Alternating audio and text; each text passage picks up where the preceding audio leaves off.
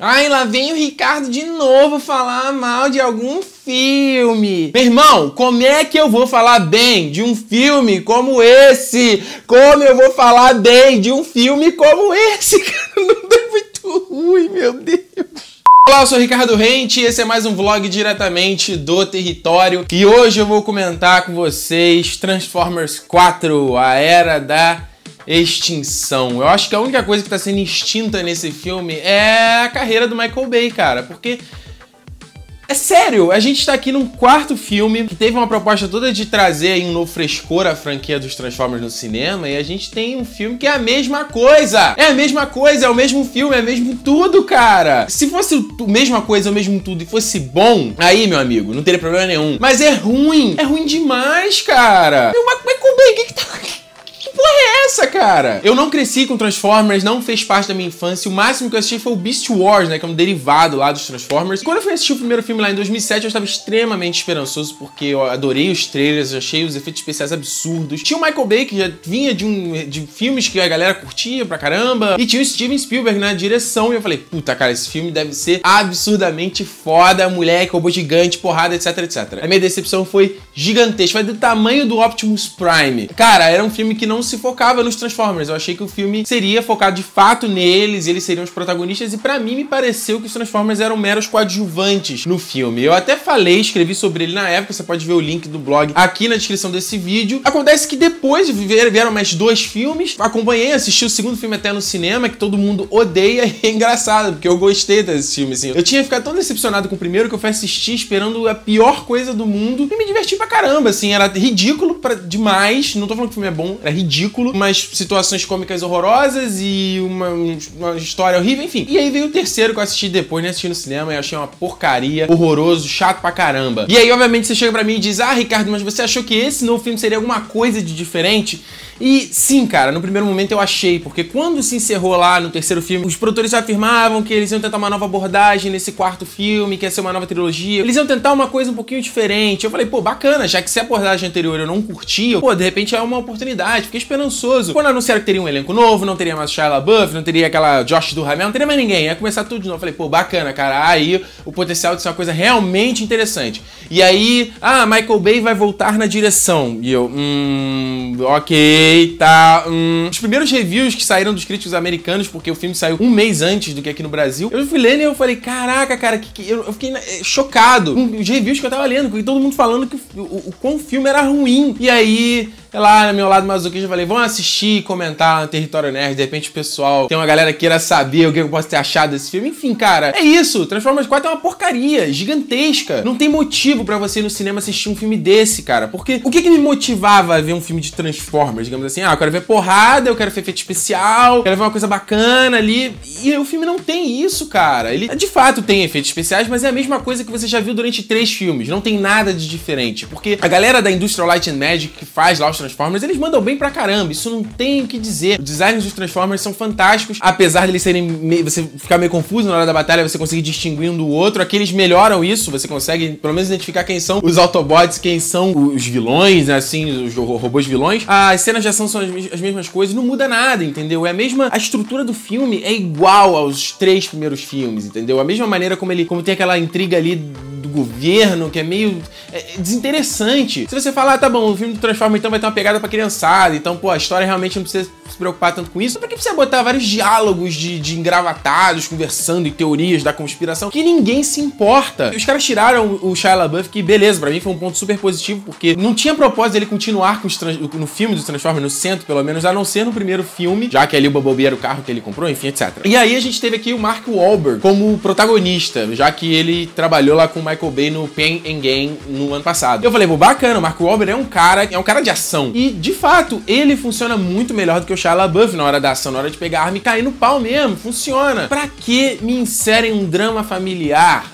Chato demais, clichê até o último fio do cabelo, cara. Você tem ali todo o lance dele ser o pai solteiro que tem que cuidar da filha, e a filha é uma, ah, eu quero sair com as minhas amigas, e ela anda toda super produzida, como se fosse pra balada, andando, ela mora numa fazenda e anda vestida toda de salto e roupinhas justas e maquiagem, cabelão de tarde enquanto ela tá estudando na varanda, vai vendo. O pai dela não é, prende muito ela, fica preocupado com a educação dela porque ele prometeu com a mãe que morreu, enfim, aquela coisa bem cafoninha. Tem o namorado dela que ela namorava maluco escondido, o pai não sabia, que também é misturado na ação, e o cara é um, é um porre. E aí ele aparece e começa a falar um monte de, de babaquice, o Mark Wahlberg, tipo, o pai da garota, sabe? Falando um monte de, de palhaçada. Ah, eu uso enxaguante bucal porque eu gosto de estar com um bom hálito pra beijar sua filha. Porra é essa, cara? É, é, tão tosco, é tão incoerente, porque a filha dele, a única coisa que ela sabe fazer é gritar pelo pai nos momentos da ação. Fica, Dad, Dad! E aí quando ela encontra o pai, a primeira coisa que ela vai fazer é abraçar o cara, e tipo, nem olha pro pai, então, tipo, é, não faz sentido nenhum, enfim. A gente tem aqui outros dois atores, o Kelsey Grammer e o Stanley Tucci. E, meu Deus do céu, meu Deus. Eu nem vou me perguntar por que, que esses caras se sujeitam a fazer esse filme, porque obviamente deram lá um sacão de dinheiro e, pô, fala sério, né? Sacão de dinheiro fazer um filme aqui que não tem que esquentar a cabeça?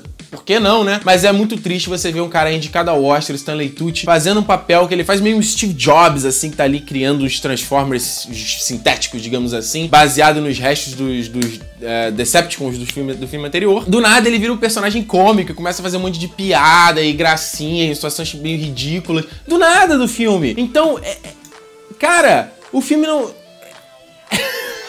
É tipo assim, é muito triste, cara. É muito triste você ver o Michael Bay tendo todas as ferramentas. Tem ferramentas que um monte de diretor talentoso, que tem uma história bacana, não tem. O cara tem grana, o cara tem uma equipe foda por trás dele para fazer o filme acontecer, tem uma produção absurda. E o cara pega isso e não não se preocupe em fazer um filme diferente. O filme tem os mesmos planos, tem os mesmos cortes, tem o mesmo tipo de direção, tem o mesmo tipo de tudo, cara. É, é... O cara tá fazendo o mesmo filme pela quarta vez. E eu não sou um fã do, do, Michael Bay, entendeu? Eu sei que tem gente que acha ele um bom diretor. Eu não gosto, eu não acho. Eu não tem nenhum filme dele que eu acho interessante. O próprio Armageddon, eu achei um porre, eu parei no meio do caminho que eu achei uma porcaria esse filme. E você vê elementos exatamente iguais ao de Armageddon, ao de A Rocha, de A Ilha, do Pearl Harbor. É a mesma coisa, aquele plano que o cara pega de baixo, o cara saindo do carro em câmera lenta e tem lá o governo e tem os militares, aquela câmera que fica perto do solo e aí parece que é o, o mormaço do calor fica deixa a imagem meio difusa. É a mesma coisa cara. E aqui eles destroem o, Chicago mais uma vez, sendo que é, eles destruíram no filme anterior. Então você, é, é um copy-cola, exatamente. Os efeitos especiais são a mesma coisa de tudo. A minha preocupação com um filme desse é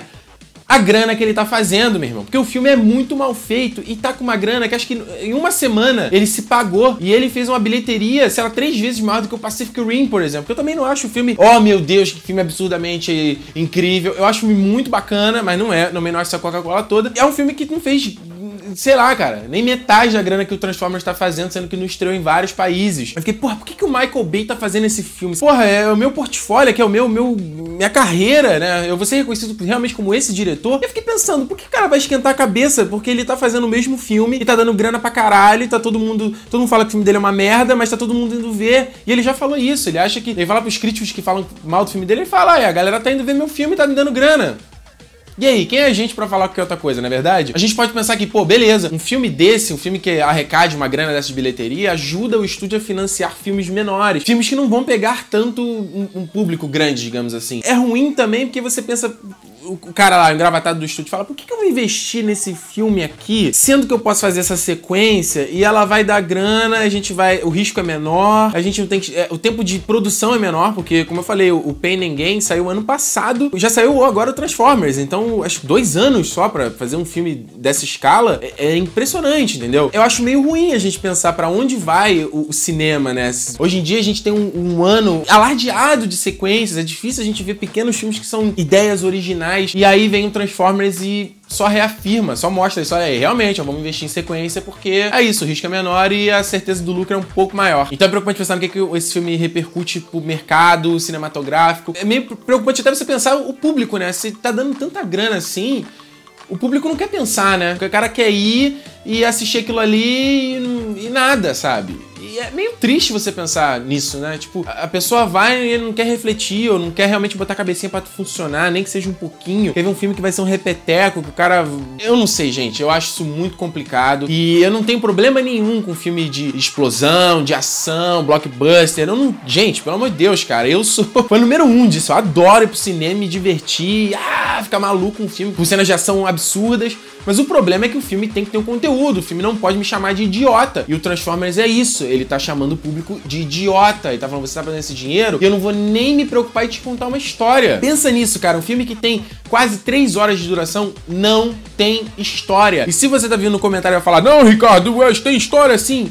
Tipo, qual é a história do Transformers? Ué, me resume aí, me diz o que, o que, que o filme tá falando. Tem nada disso. Os personagens são uma coisa, viram outra coisa no decorrer do filme, mudam. De repente aparece o personagem do Stanley Tucci, aí tem a minazinha lá, a, a chinesinha, e aí ele tem um, tem um, romance deles que surge do nada, assim, entendeu? É, é jogado pra gente. E aliás, só pra concluir falando é, da chinesinha, é tão. Você vê tanto que é, é o filme tá ali pra realmente pegar uma, é, a maior quantidade de dinheiro possível. O filme é alardeado de, de atores chineses e ele se passa. Tem lá a luta final lá em Hong Kong. E é engraçado porque eu tava lendo que o mercado chinês está se tornando cada vez mais relevante para os estúdios. Então, ele cada vez mais eles estão colocando coisas, é, é, produtos chineses, atores, fazendo publicidade, né? Product, product placement, produtos inseridos no filme voltado para esse mercado. O próprio Homem de Ferro 3 foi um filme que eles fizeram uma. A edição dele chinesa é diferente da edição americana, eles inseriram mais coisas com alguns personagens. E esse filme, como eu falei, é, a terceira parte dele é toda na China e tem vários atores chineses também que são inseridos sem qualquer propósito, enfim. É, cara, preocupante. Cara, é isso. O filme é uma bosta, mas tá fazendo uma grana e já confirmaram Transformers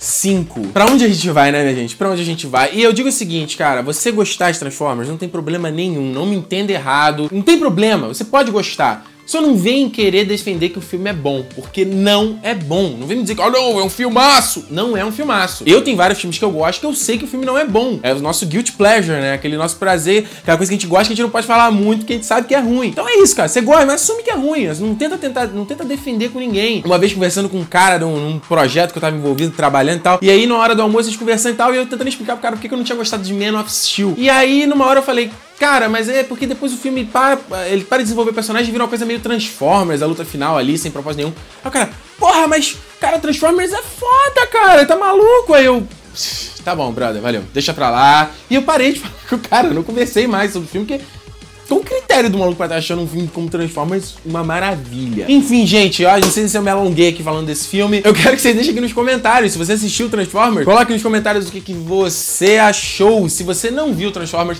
não veja, cara, não vai te acrescentar absolutamente nada, não vai valer o seu ingresso, não vai valer o seu dinheiro. Apesar de ter uma ceninha ou outra de ação interessante, é pouco, é pouquíssimo, 3D é legal? É, mas nada disso compensa o teu ingresso ou quase 3 horas do seu dia sentado no cinema. Então, fica o meu aviso, tá? Então, se você não assistiu ou não pretende ver, etc., deixe nos comentários o que, que você pensa a respeito dos Transformers ou o que, que você acha que poderia ser feito para melhorar a franquia dos Transformers no cinema. Cara, poderia ser feito tanta coisa legal, na verdade.